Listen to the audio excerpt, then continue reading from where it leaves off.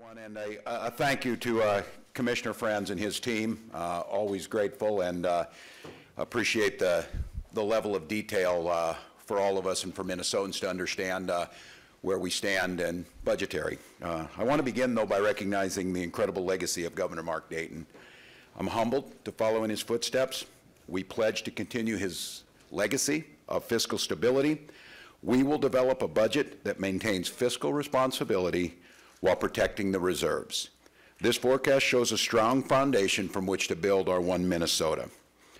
Earlier this week, Lieutenant Governor-elect Flanagan and myself finished a uh, pretty extensive listening tour of, uh, of all of Minnesota, ranging from North Minneapolis to Luverne to Hallock to Winona, um, St. Cloud, and everywhere in between. And it was absolutely clear in those listening sessions, Minnesotans are hungry for government that puts uh, people before politics and invests in a future that gives every child an opportunity. I heard from a grandmother in La Crescent who talked about the need to make sure that education funding makes sure that the opportunities her grandchild has in Woodbury are the same that her grandchild has in La Crescent. A leader in Fergus Falls who talked about the reduction of local government aid that forces impossible solu or, uh, solutions that they're forced to make that make them choose between public safety and basic water infrastructure. A young mother in Hallock who really struggled and wanted to badly to move back home, uh, but the lack of housing in the area made that difficult. And a father in St. Cloud who told the lieutenant governor-elect that he was forced to choose between providing his family with healthy food options or affording his health care premiums.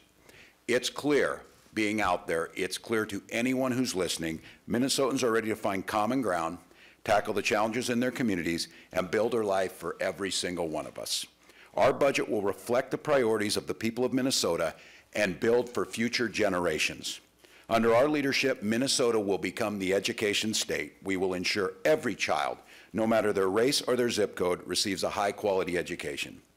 We will increase access to affordable, quality health care. Minnesotans have made it clear that they believe health care is a right and not a privilege, and we will push policies that reflect this value.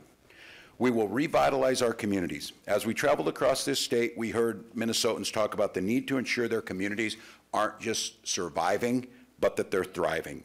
From pushing for increased support to local communities and local government aid, to investing in infrastructure and working to provide every family access to child care and ad adequate housing, we will ensure prosperous communities thrive across Minnesota.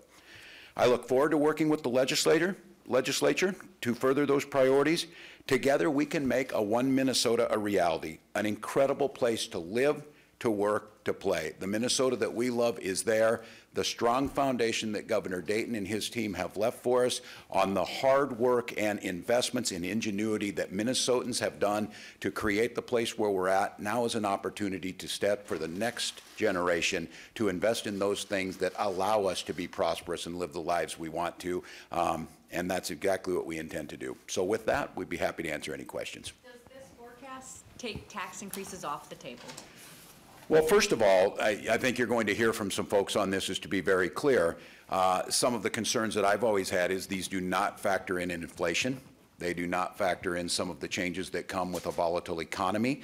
And they do not factor in, in many of these things, uh, when people talk about they invest in one-time money. When we're talking about investments in education and healthcare and infrastructure, we are talking about generational investments. So the, the conversation I had and that Lieutenant Governor-elect Flanagan had during this entire campaign was honest discussions about what Minnesotans want to see out of their government and in their state, what it takes to put those policies in place, and how do we ensure that they're stable through good times and bad. So at this point, we're still formulating. This budget is, uh, is new to us over the last several hours, and we'll continue to work to formulate those. So they're not off the table, is what you're saying? I think it's irresponsible in any time to look at something without understanding what we're trying to get to, how we're trying to build that, and continue to, uh, to assess where that'll be. With regard to the gas tax specifically, Senate Majority Leader Paul Gazelka says now is not the time to talk about it. What do you say? Well, he obviously hasn't driven west on 94 at 4 o'clock in the afternoon, I would say, or Highway 14. Uh, that's not going away. One-time funding is not going to address this. Uh, I would say, again, uh, we are not laying down uh, red lines in the sand. Uh, What we're saying is, is that Minnesotans were very clear throughout this tour that infrastructure and infrastructure investment was a major priority for them. Long-term investments are going to have to make that happen, and we'll start to talk about how do they expect to make that happen. Because, uh, again, we've seen this before, uh, but Highway 14 is still two-lane at Claremont. It is still one of the most dangerous highways in Minnesota. Uh, Same thing we're hearing in every place we've been. On the on taxes, the still current speaker, soon to be minority leader, said there's room for tax cuts in this, or tax relief. Would you be open to that? Well, what I would say on this is, is if we've followed those policies before, and that gave, when Governor Dayton came in with a $6.2 billion deficit, we saw structural imbalances that threatened our schools and threatened the prosperity of the future. Uh, At this point in time, we will uh, continue to move in a direction that brings long-term stability, that balances budgets, that keeps the reserve strong, and addresses those shortcomings that we have. So we have not, uh, again, had the ability to, uh, to craft a budget that, that looks into those. So we're, uh, I, I think uh, when your talking point, when your talking point is the same, when, when has there ever not been a time where former speaker hasn't said that? I, I'm sure that's pretty common. Governor-elect, uh, when you're talking about this kind of a surplus, 1.5 billion, does it influence what you want to do with the health provider tax, which looks stable for a year or so, but then looks like a billion-dollar deficit on that? Yeah, just, just to be clear, and, looking at this number, if you will, the, the 1.5 billion, again, because the hard work of Minnesotans, Governor Dayton's legacy, but should the health, uh, the provider piece of this not be renewed at the sunset in 2019, and not counting, that's, that's almost 1 billion, 950 some, and inflation estimated to be 2.3% next year, that's 1.2 billion right there that would come out of the general fund. So all of the sudden, overnight, if that expires, we've gone from 1.5 down to 300 million. And so this long-term access for Minnesotans to high-quality, affordable, accessible health care through an incredible program like Minnesota Care needs to be preserved, and that is a discussion we'll That have. sounds like an urgent matter in 2019, in this next. Yes, session. I consider it a priority. I talked about it extensively on the campaign trail. I made it very clear that that access fund was, was critical, and I will remind folks that a month ago, a historic number of Minnesotans apparently agreed with that when they cast a vote. Governor, on, on unmet needs and infrastructure, the uh, commissioner just said state has debt capacity of three billion dollars, and we are not looking at a normal budget year, or a bonding year, excuse me. But uh, what would you like to do with that debt capacity? Yeah, well, just because we have that debt capacity doesn't certainly mean we spend at that level, but it does mean, I think, and, and I think we're open to, to talking about bonding this year. But again, I'll come back to those, those guiding principles that I opened with is, is fiscal stability and the protection of the, uh, the surplus, the rainy day fund is, is critical. But I think that, that is certainly a, a point to look at. Republicans said that uh, when it comes to road and bridge highway improvements, one-time revenues is exactly the, a good source for one-time spending for physical in- infrastructure uh, improvements, and thus the gas tax is not a way to go. How, how do you respond to that argument? Well, that's, again, I would argue philosophically, the way the looking at the world is, that's not looking to long-term needs, long-term changes as we move to autonomous vehicles, uh, whether they be uh, hybrids, plug-ins, uh, whether we look at multimodal, how all of that will fit into this. That, that is a short-term approach to a, to a situation we should be envisioning what Minnesota's transportation infrastructure looks like in 2040, uh, not in 2020. And I, I certainly uh, think there are many ways, and there's different funding mechanisms. Um, but once again, we got to this situation by limping along, now having a C-minus rated transportation system in this state, a state that vests 27th out of the 50th states in investments in infrastructure, and it doesn't seem to me to be a, uh, a a fiscally sound nor a a particularly wise policy when you can't build in predictability, stability, and that long-range plan. This is the type of infrastructure investment and planning that should extend beyond administrations uh, to get this right, other than we have a little extra money, let's, let's decongest 94 for right now. Uh, That's, that's not the way to approach these issues.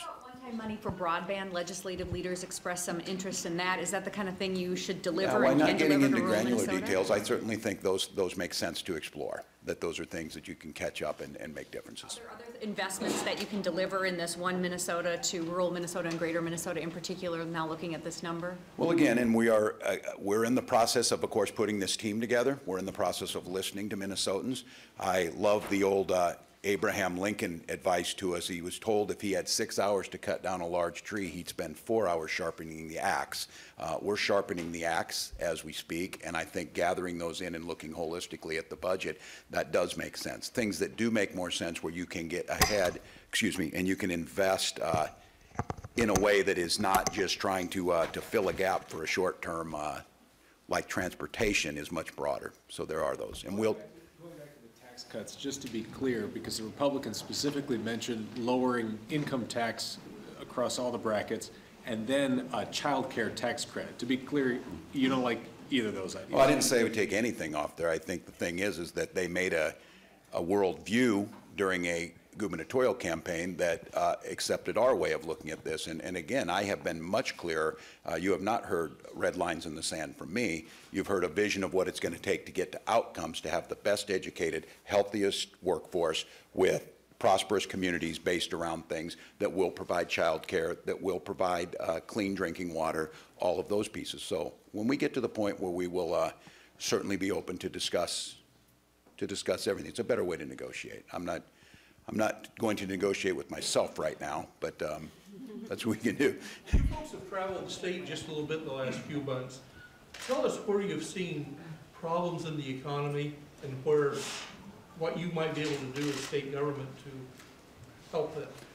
Yeah, and, and there's certain things, it's a good question in, in that certainly as a southern Minnesotan where agriculture dominates, uh, there's, there's great uncertainty from commodity prices to tariffs, trade policy, uh, unfinished farm bill. Uh, I think there's a softening there and a concern. Uh, but I think it's greater, and Lieutenant Governor-elect uh, maybe you'll have a point on this, that especially in greater Minnesota, the, uh, the fragileness of lack of, for example, daycare providers really puts a strain on the economy from people just not those already living there and struggling to try and provide this, but folks who think about moving there to live that quality of life, they're being hampered from it. So I, I do think that. And then I'll go ahead and, and continue to reiterate this, that uh, that a strong, robust, healthy transportation system not only moves people safely, it is a catalyst to moving goods and ideas. And then back to the question on broadband, that we have expansion of businesses. And in Hallock, for example, at the distillery, um, it's a, it's a spot where people go. It's people like to get uh, Far North Spirits. They want to get up there. But 99.9% of their product is sold elsewhere. And they made a really interesting point on that is that they're very concerned about transportation infrastructure in the Twin Cities where their clients live and want them to be able to move. So uh, I think it's just that connectedness. It's the sense of making sure those foundational pieces for a strong economy are there.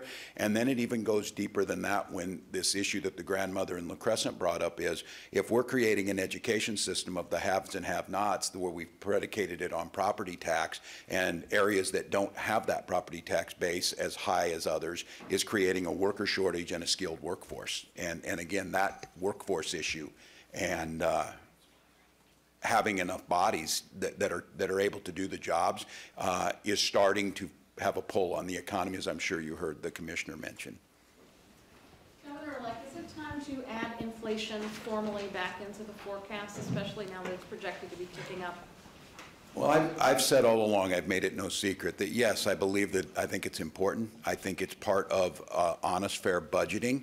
Uh, I think it gives us a much better picture because I hope all of you, and I think uh, Commissioner Frans did a really nice job of explaining this. Uh, if you just report this as the 1.5 uh, billion without taking into account 2.3% inflation that's projected out to the 2023 biennium, um, you're going to miss what that's happened. And, and I can tell you the, the effect of this that it happened in education funding is in the St. Paul district, just the erosion of keeping pace with inflation, even if you're putting new money in, eroded a little over $600 per pupil in funding, which is catastrophic in terms of programming and, and everything else. That coupled in a rural community with a low tax base is what equates into rising property taxes. So I, I will want to have this discussion. Certainly, uh, I think it's one that you can't get a true picture of what your investments or your future looks like without having those inflationary measures in there. So I want to thank you all, look forward to it, and um, really pleased to say this is being turned over to uh, Speaker Designee Hortman, so thank you. Yeah. Well, we are a big team here. It's definitely a positive budget forecast going into the next two years, but there are significant cautionary notes. And I think um, for folks in the media, as a lawyer, I'm empathetic that we're not necessarily, any of us known for our math skills, so I did the math for everybody. But with a 1.544 positive balance, but 1.162 billion in inflation that's not taken into account in this forecast, we have a real surplus of 382 million, and not all of that ongoing. So just uh, looking forward, we also have to take into account there's some significant trade uncertainty with the president's trade war with China and how that could in fact uh, affect Minnesotans in our soybean markets and in our pork markets in particular. In the out biennium, this forecast has a deficit of $2.41 billion. So it's not um, a, a, a forecast that allows us to go into session and talk about a lot of new spending and tax cuts. That would not be fiscally responsible. We all also know, because we've listened to Myron Frans for a long time, that we are closer to our next recession uh, than we are far from the last one. And we have to be cautious as policymakers to ensure that we leave the state in good fiscal order, not only through this next biennium, but as we head to potentially tougher waters in the future. So I would say it's a positive budget forecast, but there's two important cautionary notes, and those are number one, inflation, and number two, uncertainty going forward.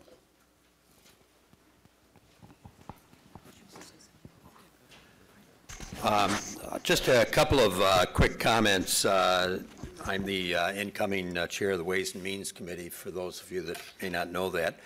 But uh, a couple of points that uh, I wanted to make uh, relative to the Commissioner's presentation, and that was the tight labor market. I think we're, uh, we're um, underestimating what the needs are there, and it's not only the numbers in terms of how tight that labor market is, but there are certain occupations that are very high need. And uh, it's going to be important for us to work in the future with the business community, with the higher education community, and the education community generally to begin to address uh, that need. Otherwise, that will compound uh, some of the problems we see when we're looking at things uh, long-term. Um, The uh, cautionary note that uh, was just uh, mentioned, those projections do show that there's going to be a slowing of the economy. And I think it's important that we look at things uh, long-term, as the, uh, the governor pointed out. And one other comment, and then I'll turn it over to others. I do drive 94 and 394 every day. And so transportation has to be a major issue in the upcoming legislative session. Uh, Good afternoon. My name is Ryan Winkler. I'm the incoming Majority Leader in the House. The uh, presentation from MMB also highlighted the fact that lower healthcare expenditures were a big factor in the uh, budget surplus that's projected. And healthcare, as uh, we've all seen from the campaign trail, and the governor-elect talked about this, healthcare is driving so much insecurity in family budgets, and it creates a lot of volatility and a lot of long-term uh, instability in the state, uh, the state budget as well. So uh, one of the top priorities for the legislature and the governor have to be dealing with rising healthcare costs, which are eating away at family economic security. And while we start with a, a healthy state budget at this point in time, in the long run, healthcare is going to be a major driver, uh, challenging uh, our ability to invest in education and transportation and everything else. And so addressing that early and aggressively will be an important part of the next uh, session's priorities.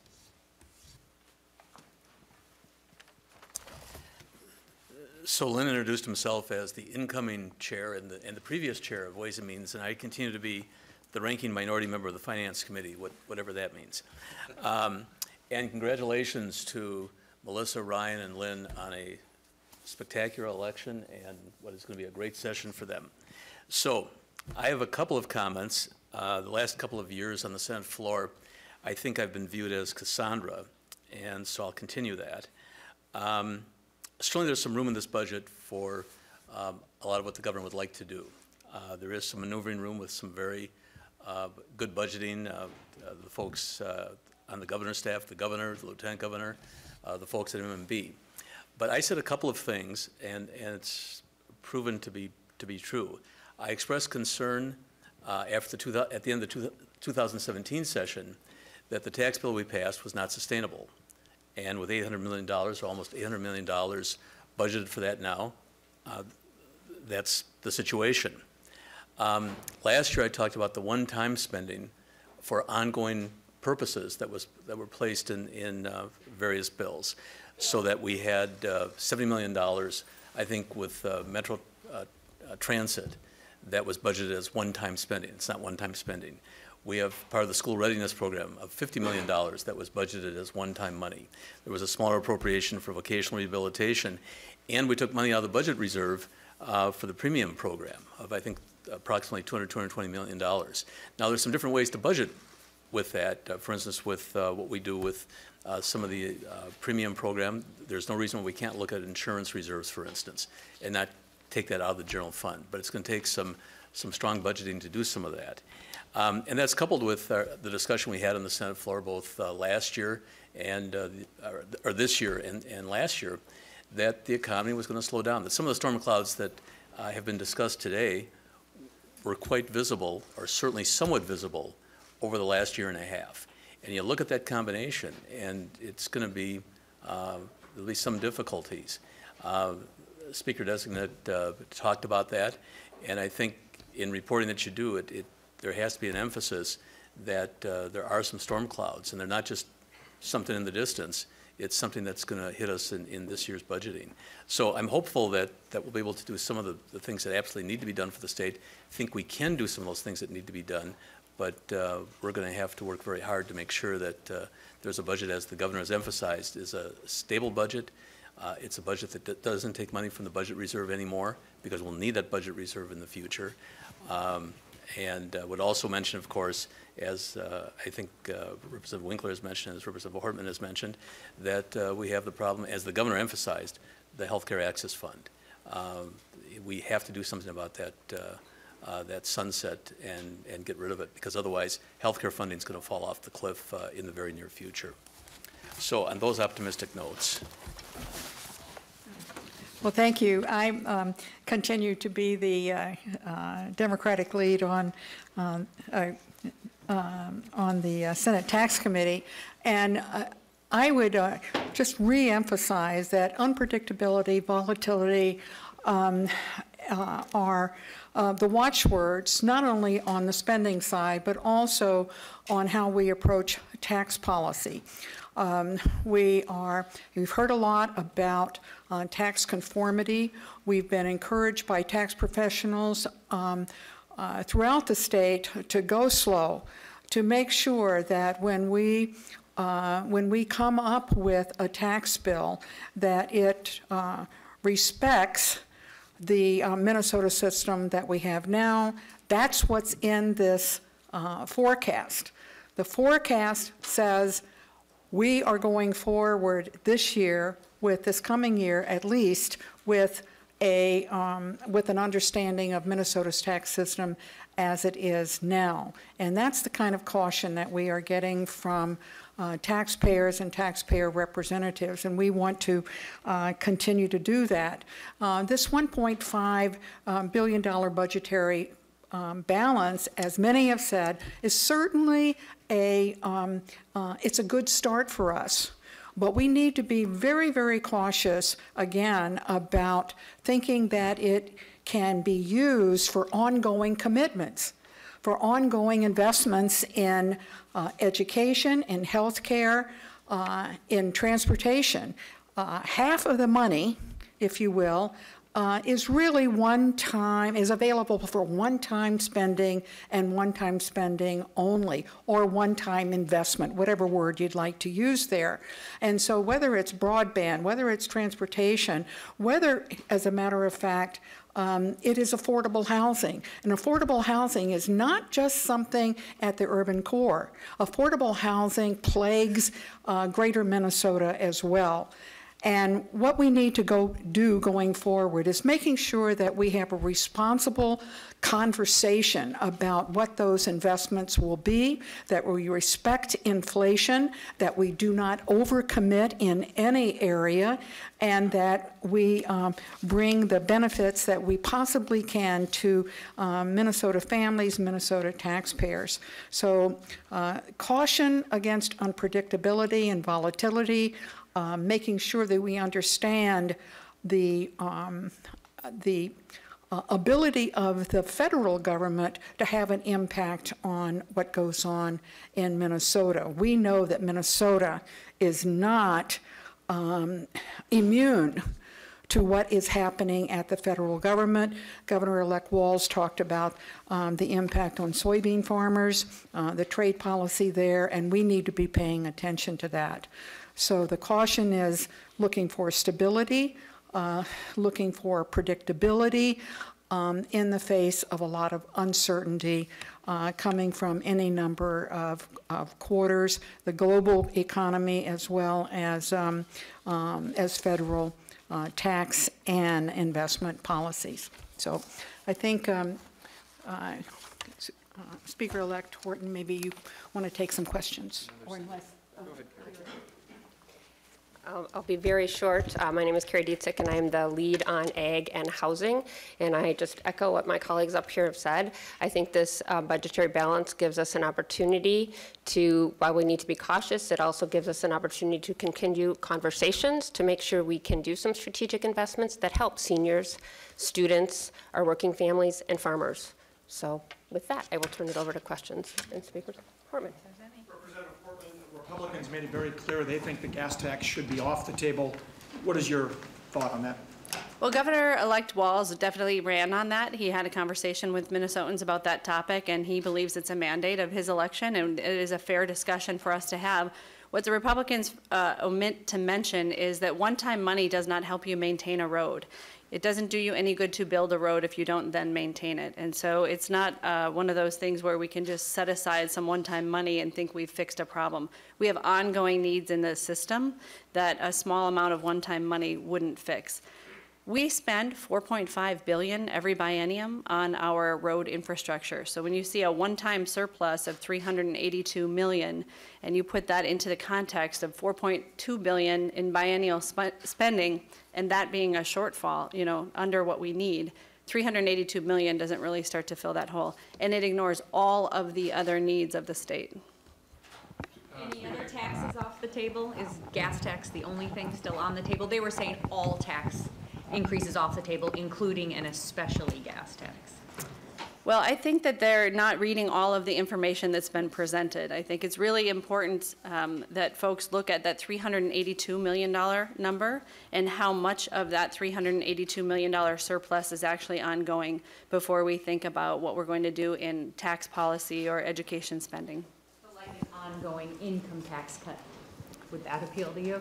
Well, as we talked about earlier this morning, there's a difference um, in, in conformity between what's urgent and what's important. It's definitely important that we do tax conformity, but it's not urgent. We've got, uh, everything's all set for the filing for this year. We're certainly going to look at tax conformity, and there may be some cost to that, so we'll definitely have to take a look at that over the course of the session.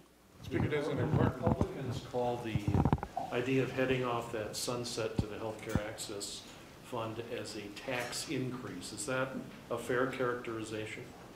Well, I don't think so, but that's another issue where uh, Governor-elect Walz was very clear in his campaign on that on that item. Uh, that he's pretty committed to continuing the provider tax. We're certainly open to having that conversation in the House. And I don't need to explain to you how the legislature works. It'll be a four-month process for us to figure out what will be in the bills that end up going to um, Governor Walz's desk. But uh, we will have the conversation about whether or whether not to allow that sunset to proceed. It's, it's going to be a tough sell, isn't it, to look at this forecast, whatever number you put in it, and say, we need to increase taxes, isn't it? To, partly depends on what you put in your headlines, whether it's 1.54 billion dollars is a surplus, or if the headlines reflect the reality that uh, the finance commissioner talked about, which it, is a budget balance of 1.54 billion. And we cannot ignore inflation. So it- I think th- the average Minnesota family, if they had an annual salary of $100,000, get a $5,000 raise, and go spend the whole thing on a trip to Jamaica, they might find that when they go to the grocery store to buy their milk, it's a little bit more expensive this year than it was last year. And maybe they should have budgeted some of that increase to handle inflation.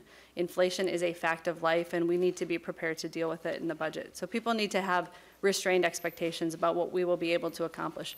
We will invest in Minnesotans, and we will invest in Minnesota, and this positive forecast allows us to do that, but we have to do it in a responsible and sustainable way.